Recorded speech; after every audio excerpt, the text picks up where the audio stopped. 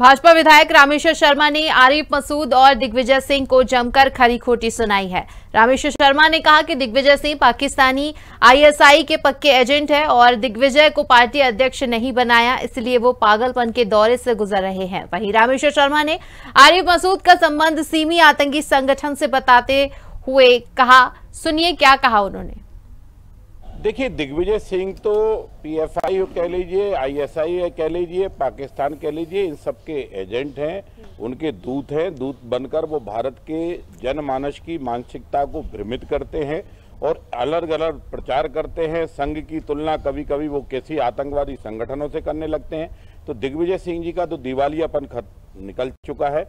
क्योंकि अभी ऐसी जो हालात दिख रहे हैं, उनको राष्ट्रीय अध्यक्ष और नहीं बनाया जा रहा तो और थोड़ा पागल पर दौड़ से वो गुजर रहे हैं। लेकिन जो कुछ भी घटनाक्रम है, भारत सरकार बारीकी से नज़र रखे हुए है और न्याय प्रक्रिया के तहत पूरी जांचें चल रही हैं। जो अपराधी है, उसको सजा मिलेगा। देश में अपराध करने की छूट किसी को नहीं दी जाएगी।